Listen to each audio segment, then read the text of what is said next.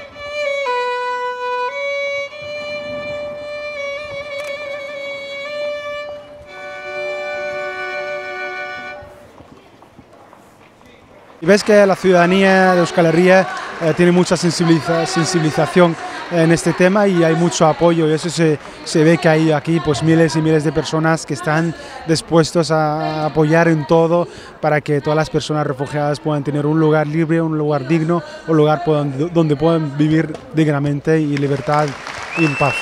Para acabar con todo esto hay que hacer una revolución social y política una revolución cultural y feminista, una revolución ecologista y crear sociedades plurinacionales, multiculturales y multiétnicas. Guernica 80 años antes fue bombardeado por el fascismo. 80 años después siguen existiendo muchas Guernicas en nuestro planeta. Pero las políticas, las políticas de la Unión Europea las políticas de muchos gobiernos no dejan que muchos y muchas refugiadas lleguen a Euskal Herria. Pero todos, todos vamos a conseguir eso, porque tenemos la fuerza. Y la fuerza tenemos, lo vamos a conseguir y vamos a romper estas, políticas que llevan los gobiernos y que llevan la Unión Europea. Porque esta tierra sí que vale sí que vale, sois, sí que vale, vais a conseguirlo. Scarricasco.